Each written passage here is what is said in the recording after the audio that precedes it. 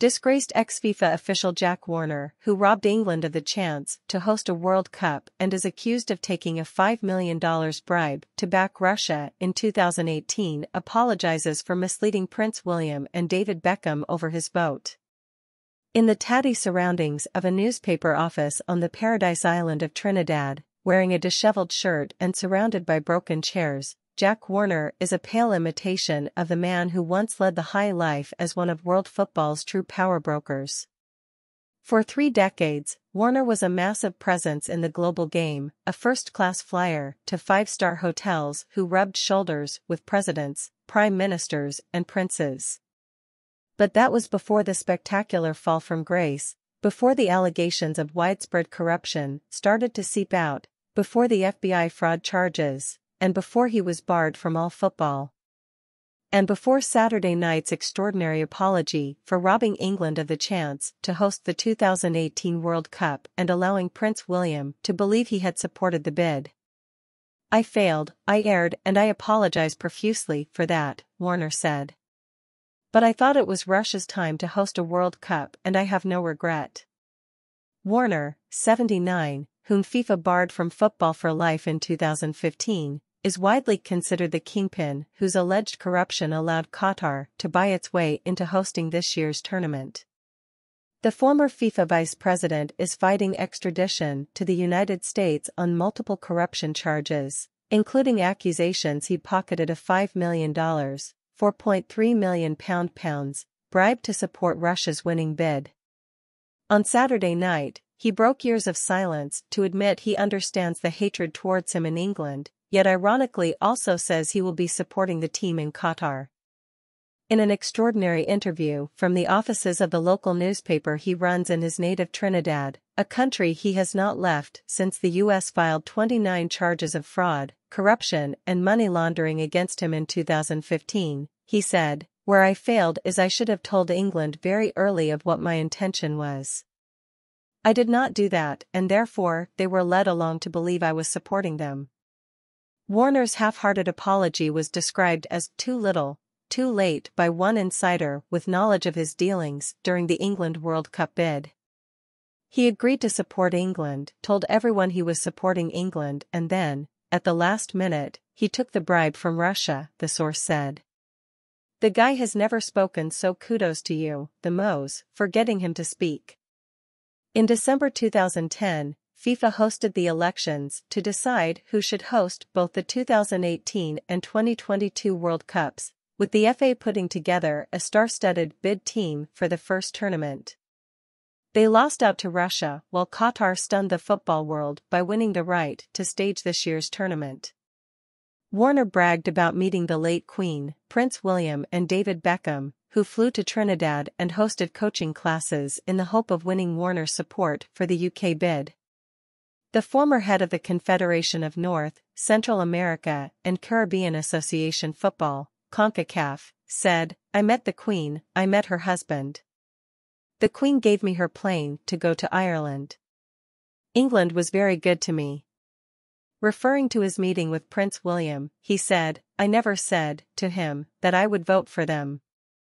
I said, of course, I would give it some serious thought. Even when the English team came here, to Trinidad, and Beckham came and did coaching courses and so on, they asked me to make a statement that Jack Warner of CONCACAF now supported the England bid. I didn't do it. I never made a public endorsement of anything.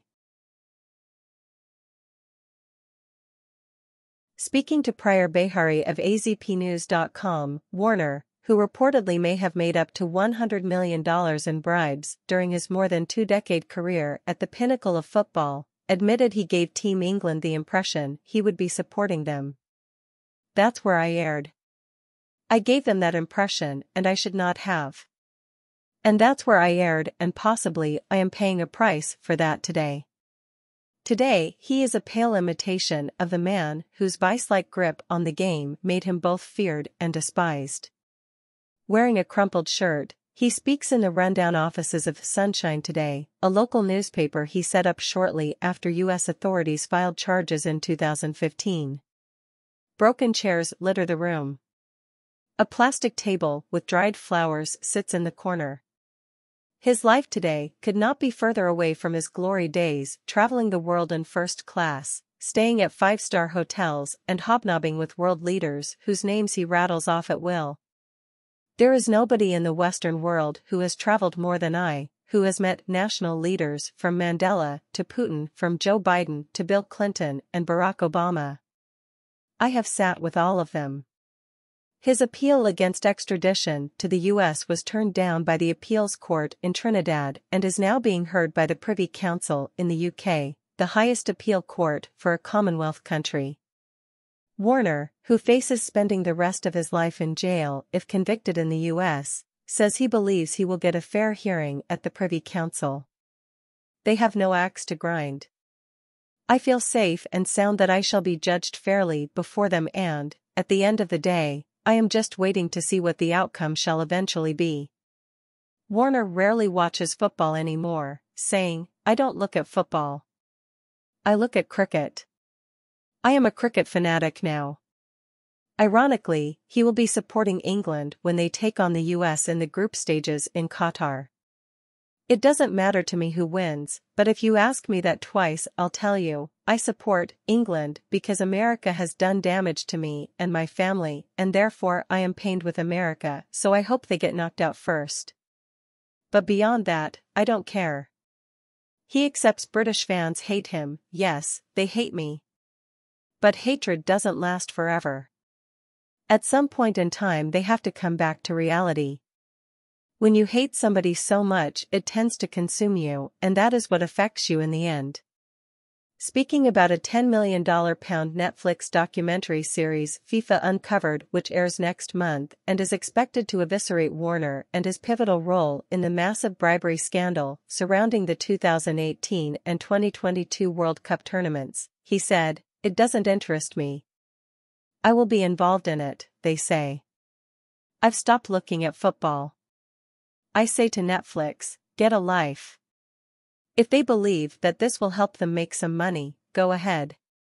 I have insulated myself from criticism and, from, football. If not, I would have been dead already. I won't watch it and I don't even want to hear about it. I live deliberately in a kind of cocoon.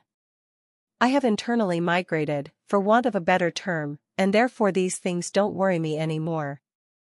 Warner spends his days rising early. He walks daily from 3.30 a.m. to 4.30 a.m., with armed bodyguards, before working at his cluttered desk inside his newspaper offices in a poor part of a town where he claims he was once a local hero. There are guys who consider me there to be a demigod, a semi-god, because I fix their roads, their bridges, he said. I went to their functions. I gave scholarships for children of cane farmers. You name it, I did it.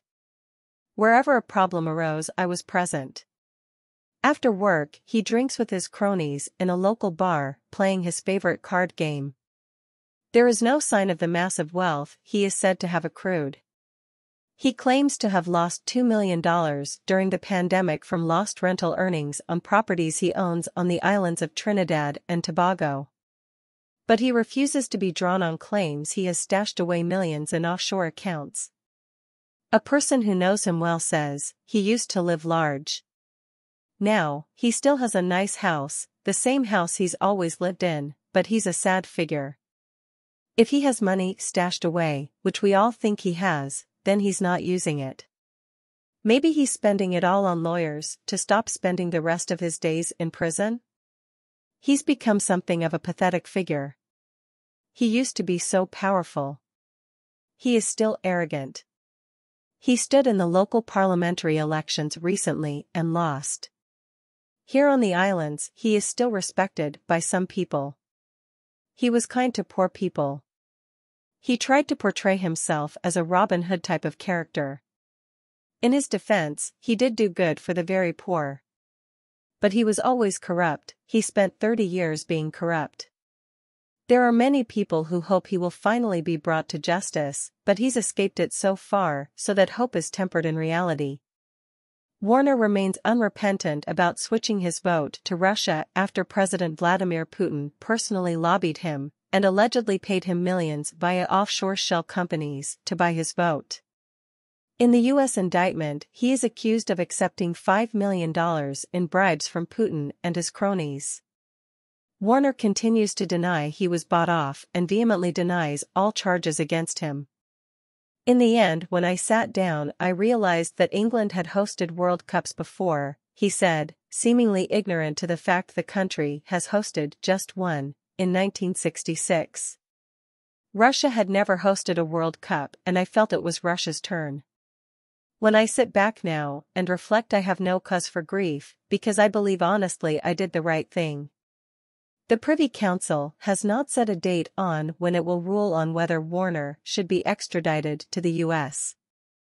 Sources in America say, because of his age, Warner will be put on a fast track for trial a legal source with knowledge of the case said, it's shameful that this crook, one of the most corrupt men ever in football, is still walking around. Warner is free on $2.5 million bail. If he loses his appeal against extradition, expect things to move quickly. The feds have wanted this guy for a long time. He's in their sights. They believe they have a rock-solid case against him and are determined justice will be done. The FBI declined to comment on Saturday night, saying they never comment on active cases. Two of Warner's sons pleaded guilty to corruption charges. Warner claims he has been harassed by international media since the FIFA corruption scandal erupted. The BBC and others have been met with silence, something he understands will make this, his first interview since charges were brought, explosive. He said, The media hates me. I can never get a fair trial.